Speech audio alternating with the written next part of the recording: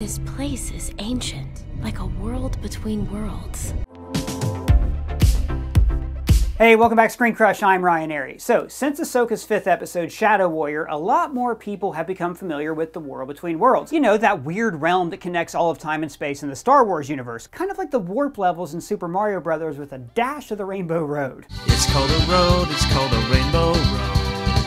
It is a road that you go.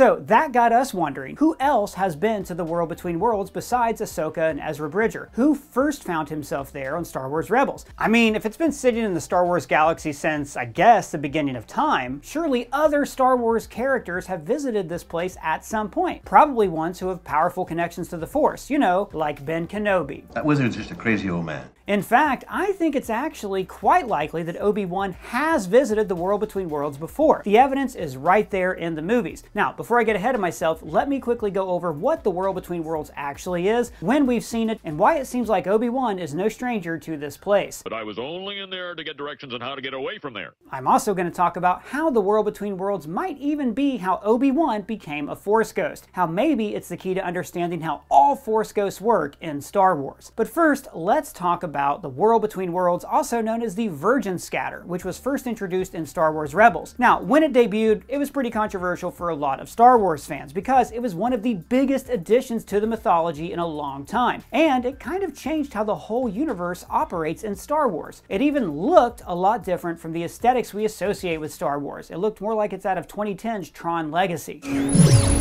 It's a metaphysical gateway dimension that has portals to different locations across the Star Wars galaxy, and maybe even other galaxies. More importantly, these portals also go to different time periods, meaning that someone could use the world between worlds to travel through time. When this baby hits 88 miles per hour, you're gonna see some serious now, Ezra Bridger used the World Between Worlds to rescue Ahsoka Tano in the past, which is how Ahsoka first learned of its existence. In episode 5 of her own show, we see her speak to and duel with Anakin Skywalker in the World Between Worlds. Or was it? We recently made another video going deeper into that encounter between Ahsoka and her former master, where we wondered if maybe it wasn't the World Between Worlds at all, but instead a Force vision that happened entirely in her head. The show kind of leaves it unclear, but you know what, really it could be either. But let's just assume that it was was the world between worlds in Ahsoka, the same metaphysical space that we've already seen in Rebels. Sure, it looks a little different, but we did only briefly see it in Rebels. We don't even know that that was all of it. In fact, it probably wasn't. It would be a little weird if the interdimensional hub that can connect to any point in all of time and space is like smaller than Madison Square Garden.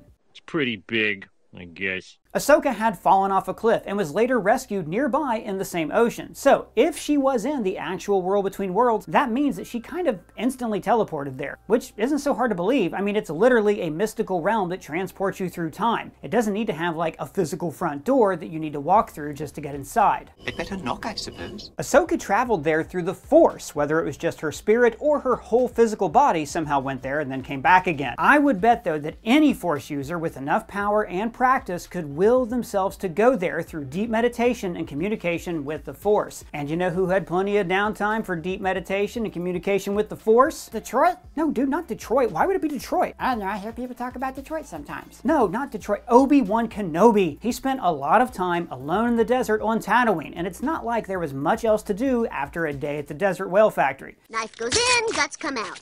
Knife goes in, guts come out. After saving Leia and confronting Vader nine years before the events of A New Hope, Obi-Wan makes a renewed effort to connect to the Force. It's probably in these years, with Qui-Gon's guidance, that he was able to meditate deep enough to visit the world between worlds. After all, at this point, Obi-Wan is a Jedi Master, arguably one of the best to ever do it. But Qui-Gon implies that he has a lot of training ahead of him. Come on, you've got a ways to go. So what is he teaching him? How to be a Force Ghost? Well, we'll get to that, but he was probably also teaching him about the world between worlds and how to meditate hard enough to take himself there at will. There, Obi-Wan could access some of the major events in Star Wars history, including From a certain point of view the future. If Obi-Wan could travel through time, why wouldn't he stop the Empire from ever forming? He could he just go back and kill Palpatine when he was a baby. Somehow Palpatine never existed. Well, now you see why the world between worlds is so controversial for a lot of us fans. The fact is, it's still very unclear how time travel and altering the past works in Star Wars. Ezra saved Ahsoka, but it didn't really change the way events unfolded after she disappeared. Maybe history can change. Maybe every change creates a new alternate timeline. Or maybe everything always happens the way it's supposed supposed to happen, including time travel, kind of like in Lost. It was really confusing. Yeah, well, get used to it. So, Obi-Wan never changed the past, but he could see the future. He may have even seen that Luke would one day be able to defeat Vader and end the Empire, but he would need his sister Leia to do it. That's why, in A New Hope, once Obi-Wan sees that Luke and Leia are reunited, he knows that events are on the right track. He can then allow himself to be sacrificed and not worry about the rebellion still needing him around, at least corporally speaking. This could also be how Obi-Wan traveled even further into the future, all the way to the sequel trilogy. Remember, Rey hears his voice in The Force Awakens. And then again in Rise of Skywalker. Somehow Palpatine returned. Remember that Force users can hear sounds emanating from the world between worlds even if they're still on terra firma. Jason was able to hear Ahsoka and Anakin dueling with their lightsabers. So, when Rey hears Obi-Wan's voice, he could literally just be standing outside the door that leads to the time of the sequels, whispering sweet nothings through the portal. Do I smell Pantene? Do I smell? Now maybe he did the exact same thing to Luke during the Death Star trench run. Use the Force, Luke. Now see, that's just silly. That wasn't Obi-Wan Kenobi alive in the world between worlds. That was his Force Ghost. Okay, so that's a good point. So let's talk about why some Jedi are Force ghosts and others are not. And that will help you understand why Anakin was in the world between worlds and why that is proof that Obi-Wan is in the world between worlds as well. So the Force really works in two ways. There's the cosmic Force that guides the will of the galaxy. May the Force be with you, etc. May the Force be with you. I've encountered divergence in the Force. Will bring balance to the Force. Was the will of the Force. And then there is the living force. That is the energy that's actually generated by all living things. Now, most Jedi focus their attention on the will of the cosmic force, but Qui-Gon Jinn was a student of the living force. It's why he told Obi-Wan, Be mindful of the living Force, young Padawan. Now, because Qui Gon was so focused on the living energy of the Force, his mind was able to remain intact after his death, which is why we hear Qui Gon's voice in Yoda's vision in Episode 2, and why Yoda tells Obi Wan, In your solitude, training I have for you, your old master. How to commune with him, I will teach you.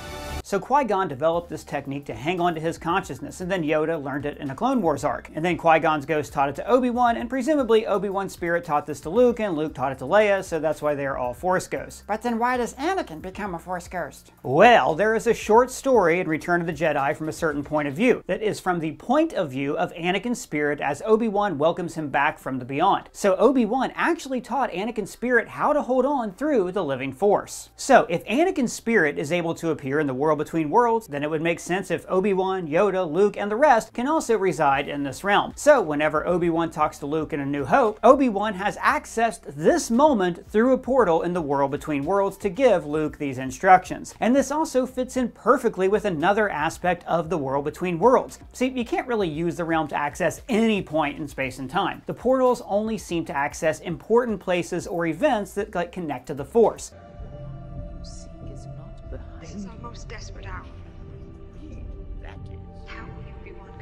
For example, we have the deaths of Jedi, or very famous duels, and this is why Obi-Wan only appears to Luke at certain key moments, like at a near-death experience or on the Force planet of Dagobah. So we think that there's a way that these Force ghosts can find the time and space they want and then communicate through the portal rather than physically enter it like Ezra did on Rebels. In fact, this is probably a built-in failsafe to keep people from directly altering the past. Then again, it's also possible that this was not Anakin's Force ghost or that Force ghosts aren't even real ghosts. See, what if the world between worlds can store psychic imprints of the Jedi who have connected with it, shadows of themselves that look like them and think like them and have their memories, kind of like the holograms of Jor-El in Man of Steel or Hari Seldon in Foundation. That way, Jedi who really do deserve to go to paradise after they die, like Yoda and Obi-Wan, still get to go to Jedi heaven. The world between worlds keeps a sort of copy of them behind for the benefit of everyone else, while still letting them fully move on to wherever it is we go when we die. Since the world between worlds exists outside of time, like the TVA and Loki, once a Force ghost is left in there, it can then interact with anyone at any point in the past, present, or future. If this is the case, when someone like Luke or Rey is communicating with a Force ghost, they are actually connecting with and interfacing with the world between worlds, which is why other people cannot see Force ghosts. Typically, Force users are interacting with physical reality, moving things around, defying gravity, healing wounds, generating lightning. It's all a lot of simple tricks and nonsense.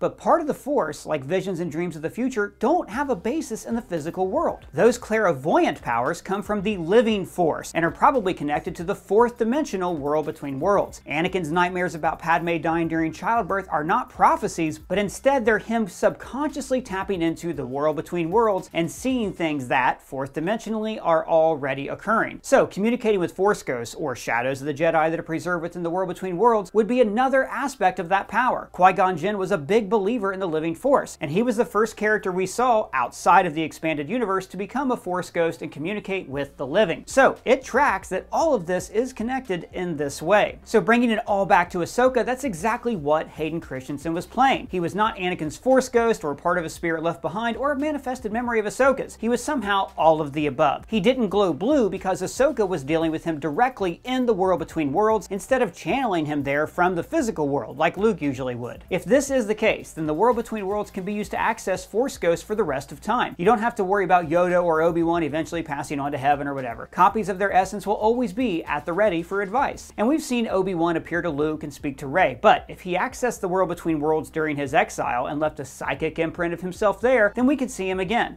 Hello there. Ewan McGregor seemed to be having fun coming back for his own series. Made me feel like a kid again. So I wouldn't be surprised if he shows up again as Obi-Wan at some point, whether it's the Heir to the Empire movie or even something unexpected like the Acolyte. If Force Ghosts transcend time, then there's no reason he can't show up hundreds of years in the past. Now, if Force Ghosts really do originate in the Vergence Scatter, it could have some exciting possibilities for the upcoming Star Wars films. For example, the Chain Worlds theorem, that's the in-universe explanation of the world between worlds, is actually found in one of the Jedi texts that Luke kept on Fish Nun Island. We specifically see Rey save this text before the tree library library burns down. Maybe in the upcoming new trilogy of Star Wars movies starring Rey, we will see her use what she's learned to visit the world between worlds herself. She can communicate with previous visitors, turn Force ghosts like Luke, Yoda, and Obi-Wan. She can even learn how to leave an imprint of herself behind, so that in Star Wars stories years from now, even Rey can return as a Force ghost. Somehow returned. That's why the Yoda of the original trilogy, who traveled into the future and saw Rey save the scrolls that she needed in the future trilogy, knew that it was okay to burn down the library in the sequel trilogy. Exactly. It was really confusing. So, what did you guys think of this theory? Big shout out to the writer Jack Piccone. Let us know your thoughts down in the comments below or at either of us on our socials. And if it's your first time here, please subscribe, smash that bell for alerts. For Screen Crush, I'm Ryan Arey.